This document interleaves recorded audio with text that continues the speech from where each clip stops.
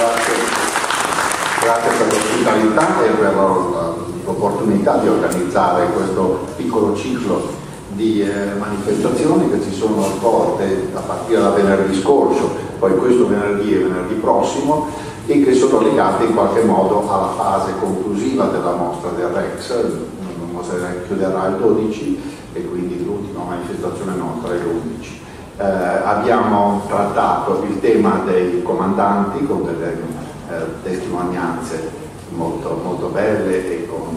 eh, con eh, questo legame eh, anche familiare, alcuni dei relatori eh, della settimana scorsa erano discendenti dei comandanti, i comandanti perché poi noi ricordiamo sempre il Rex insieme al Conte di Savoia, per quelli di voi che non hanno ascoltato la presentazione di venerdì scorso, queste due navi che qualcuno diceva navi gemelle, poi in realtà gemelle non lo erano perché erano diverse come navi ed erano diversi come alcuni armatori, perché poi erano armate l'una dal Lloyd Sabato, l'altra dalla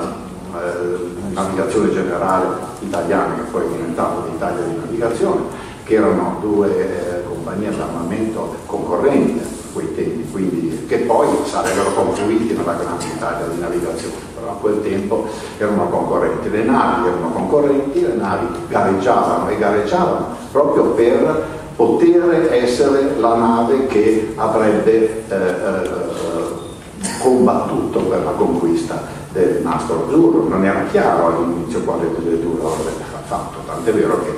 come ci hanno raccontato i comandanti la volta scorsa, eh, il conte di Savoia aveva tentato un po' prima del Rex e poi una tempesta l'ha costretto a rallentare, quindi non è riuscito a conquistarla. Ecco, tutta questa vicenda, questa vicenda molto, molto avvincente eh, oggi eh, prosegue con questa ehm, questo parallelismo mare-cielo che, che, è interessante. A quei tempi nel, nel, progetto generale della propaganda di quell'epoca eh, queste, queste, manifestazioni, queste grandi conquiste, sia marittime che aeree, venivano viste come due aspetti di quello che doveva essere una supremazia nazionale che poi purtroppo la guerra ha dimostrato che non c'era eh, però la propaganda era puntata a, a, a, mettere in risalto queste cose. Eh, le, come mai eh, la trasvolata atlantica è legata al Rex? Perché come vedremo in qualche immagine, anzi io vorrei proprio dedicarmi solo a questo aspetto, vorrei il legame tra Rex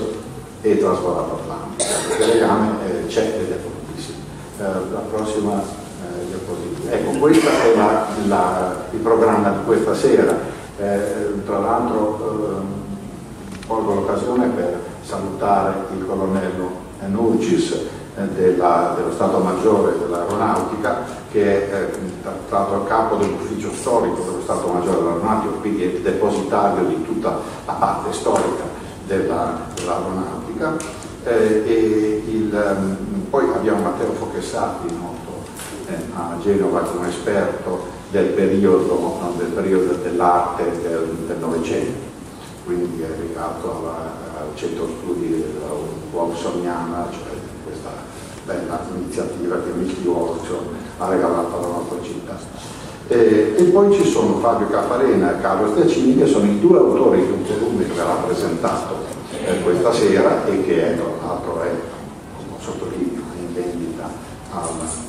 all'ingresso del, della sala è questo, questo, volume che tratta appunto, che si chiama Chi vola vale, perché questo era uno degli slogan eh,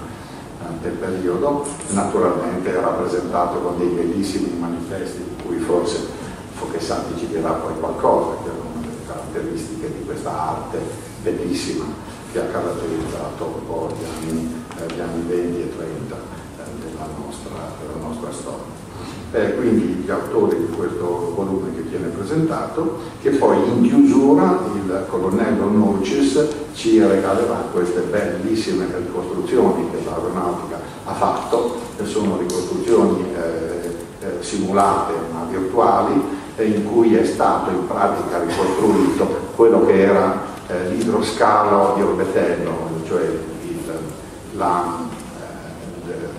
gli aerei che erano idrovolanti sono partiti di lì e Orbetello era veramente un'opera di carattere marittimo portuale di, di estremo interesse. Cioè, c'è una gru che credo che a quei tempi, forse no, nel porto di Genova, gru di quelle dimensioni non c'era in quegli anni, perché doveva sollevare gli aerei e metterli in mare. Quindi vedremo tutte queste cose. Andiamo un attimo avanti, molto rapidamente, questo è Rex. Ecco, io volevo solo citare Fabio Testi, che è presente, Fabio Testi è figlio del direttore di macchina e primo violino per Rex e Flavio Testi sarà ancora più protagonista della prossima, eh, della prossima ehm, conferenza di cui poi diremo. Però ci ha aiutato perché è depositario di un archivio personale molto importante